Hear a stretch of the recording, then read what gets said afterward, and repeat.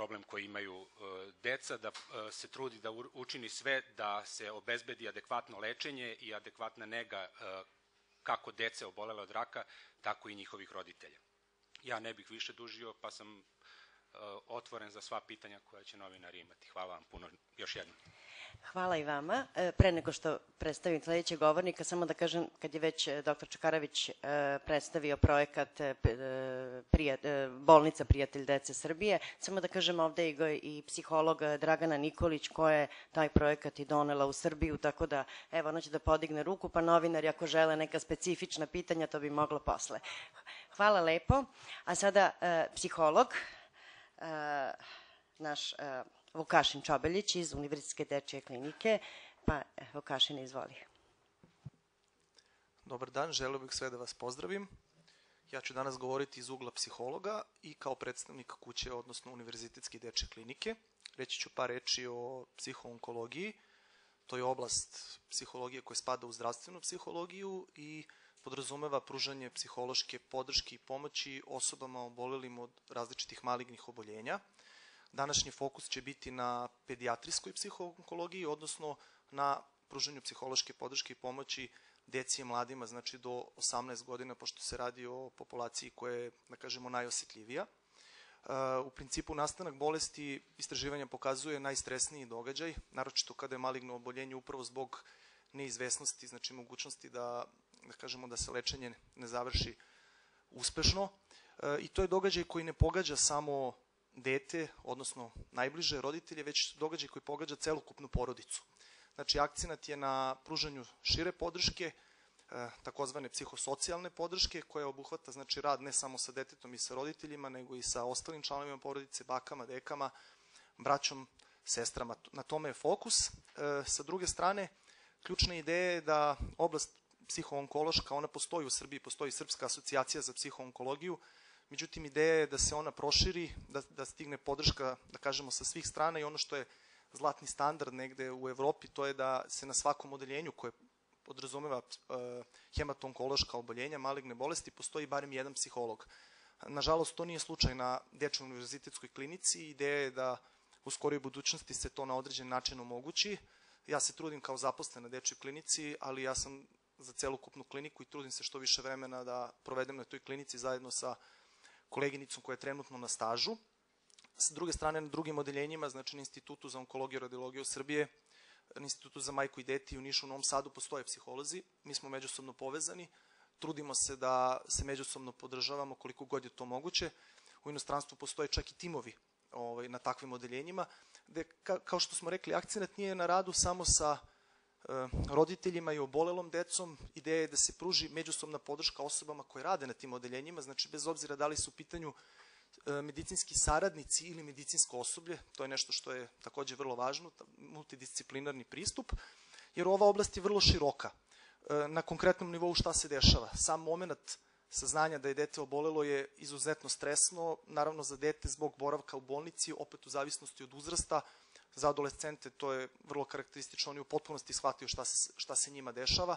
S druge strane, roditelji su u velikom šoku, suočavaju se preko noći, moraju nekako da prihvate tu situaciju zatim da se suoče sa neizvesnošću, e, lečenjem koje dosta dugo traje, koje je vrlo intenzivno, praćeno bolnim medicinskim intervencijama, usponima i padonima, lečenje obično, da kažemo, ide korak po korak, nikad nije pravolinijsko.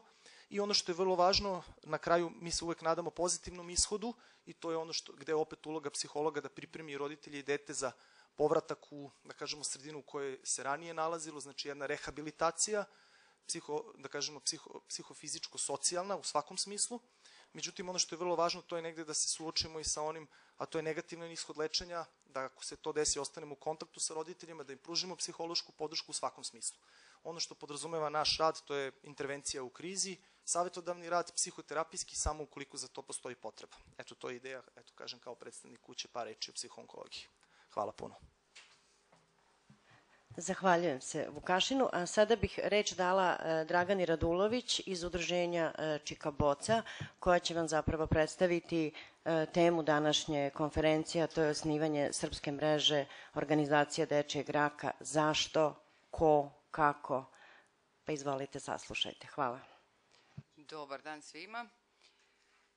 Srpska mreža organizacija Dečijeg raka je nešto što je bio prirodni korak dugogodišnje, u stvari saradnje od poslednjih par godina, četiri udruženja, zapravo tri udruženja, uvek sa decom, koje deluje pri Institutu za onkologiju i radiologiju Srbije i postoji od 1991. godine. Institut, o, Zvončica, udruženje koje postoji od 92. godine i deluje pri Institutu za majko i dete. Čika Boca je mlado udruženje, postojimo od 2011. godine i postoji neformalna grupa mladica.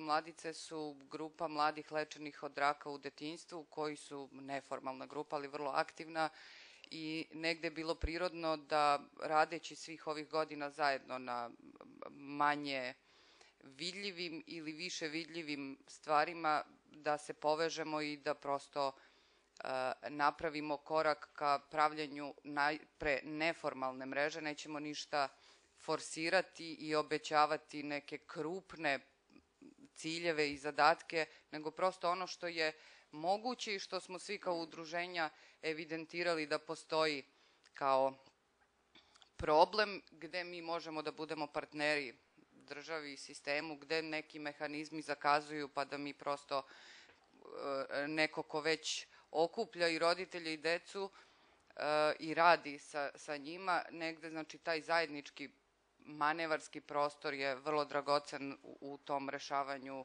nekih naših ciljeva. Uh,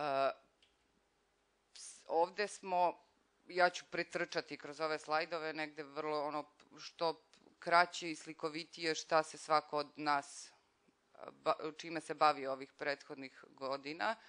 Uh, ono što smo radili zajedno su kampovi, konvencije, regionalne konvencije, povezivanje što roditeljskih udruženja iz regiona, što mladih lečenih od raka, e, obeležavanje značajnih datuma i ono što je negde vrlo odakle veza sa udruženja sa Batutom, upravo zbog njihovog, u stvari, sluha e, na našu molbu 2012. da se uvede Međunarodni dan dece obolelo u raka u kalendar zdravlja. E, kada se neki datum nađe u kalendaru zdravlja, prosto ljudi ne znaju šta to tačno znači, ali to će vam opet više reći doktorka Snežana Živković iz Batuta. Prosto to podrazumeva puno aktivnosti koje sprovodi Batut u, u cilju stavljanja značaja i, i isticanja uh, najpre obraćanja onom primarnoj zdravstvenoj zaštiti kako da se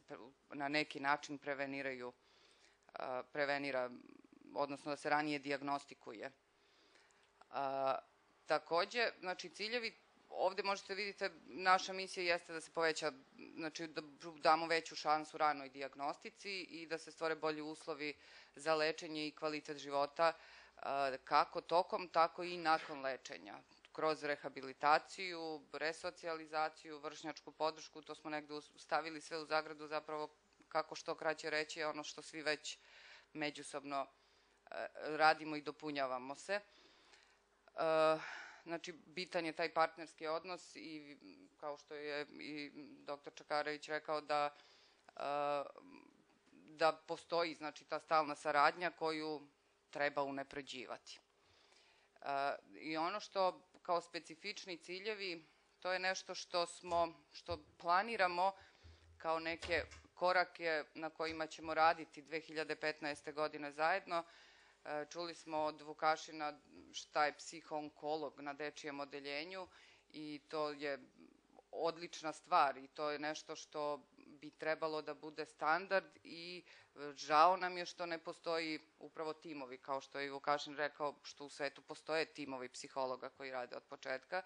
E, negde e, psihologija kao pomagačka nauka uopšte u zdravstvenom sistemu, sada izađemo iz okvira pedijatrijske onkologije, nekako nije prepoznata, pa negde nama taj zadatak da, da napravimo i mi strategiju i da negde podstaknemo i struku da da razmišlja u pravcu zdravstvene psihologije, a da zdravstveni sistem negde više ima sluha za potrebe psihologa na odeljenjima.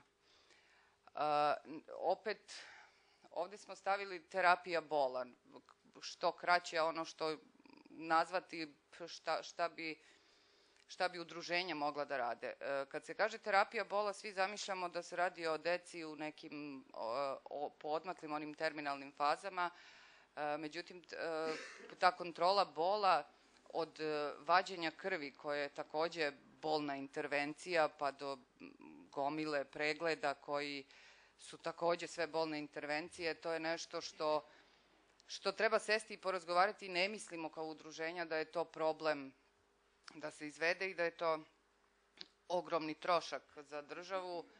Možemo da se dogovorimo da počnemo od primjera anestetik gelova za početak, tako da mislim da ćemo razgovarati ove godine jako puno sa nadležnima u tom pravcu. I zalagat ćemo se da programi podrške koja udruženja sprovode na odeljenjima, da prosto dobijemo podršku još malo veću, da to bude i prepoznatljivo i prihvaćeno i da to bude dobrodošlo na odeljenja gde se deca leče od maligniteta. E, ovde smo stavili da smo svi, sva tri udruženja i mladice, e, da smo članovi međunarodnih asocijacija, tako da smo svi članovi Internacionalne konfederacije roditeljskih udruženja, skraćeno IKIPU, Pankera, to je mreža profesionalaca, udruženja i survivora, koja postoji zadnjih sedam godina i onako istraživački što sam dečiji malignitet i što dugoročne posledice istražuju i to je onako vrlo, vrlo bitna stvar za i za našu struku i za roditeljska udruženja. I tu je vrlo lepo što se partnerski sarađuje, sarađuju profesionalci, medicinski stručnjaci sa roditeljima i sa survivorima. Mladice su članovi i osnivači Youth Cancer Europe, koja je u decembru startovala, tako da vidjet ćemo, želimo im susreću. U, u martu će i tamo predstavljati ono što rade. I na kraju imamo opet neformalnu regionalnu grupu mladica, to su Mladice Balkan, koji evo dve godine uspešno sarađuju i nadamo se, svi su se aktivirali, aktivizam srpskih mladica je zarazan tako da se širi Balkanom. A apropo svog, svega ovoga što smo članovi Internacionalne konfederacije roditeljskih udruženja, uh, juče nam je stigao jedan lep mail iz um, sekretarijata IKIPU-a, znači Svetske asocijacije roditeljskih udruženja, da mi kao srpska mreža roditeljskih udruženja smo 2016. domaćini, sad sam ja zaboravila, sedmog, mitinga roditeljskih udruženja Evrope. Ali Irina će preciznije da kaže o tome. Sedma evropska konferencija organizacija, međunarodnih organizacija dečeg raka. I to će opet, možda Irina kasnije, ako ste zainteresovani, ima fora od 2016. godine, ovaj, o značaju tog mitinga, o tome ćete, ima vremena do sledeće godine, bit ćete obavešteni. I to je to što se tiče srpske mreže, mi ćemo e, nastupamo najpre kao neformalna mreža bez e, krupnih planova, prosto ono šta već radimo pojedinačno, gde se preklapamo, to ćemo zajednički fokusirati u, u jedan pravac i tu ćemo pokušati zajedničkim nastupom da neke stvari menjamo sarađujući sa donosiocima odluka, tako da nadamo se da će ova godina imati nekih rezultata vidljivijih. A ovde ovaj slajd je za nešto što će Mirina da objasni ili će u stvari e, najavit će 15. februara u nedelju e, Srpska mreža organizacija Dečeg raka e, ima svoje aktivnosti kojima će obeležiti Međunarodni dan, a o sadržaju i kojim redom, to će Mil, Milica Šimonović, Mladica, Srbije. Dobar dan, ja sam e, član neformalne grupe Mladice koje su pomenuli nekoliko puta. E, mi se bavimo pružanjem psihosocijalne podrške različitim nizom akcija i kao što su i Vukašin i Dragana rekli, pošto trenutno nemamo broj psihologa, dovoljan broj psihologa koji će se baviti psihoonkologijom, e, mi za sada na neki način pokušavamo da nadoknadimo tu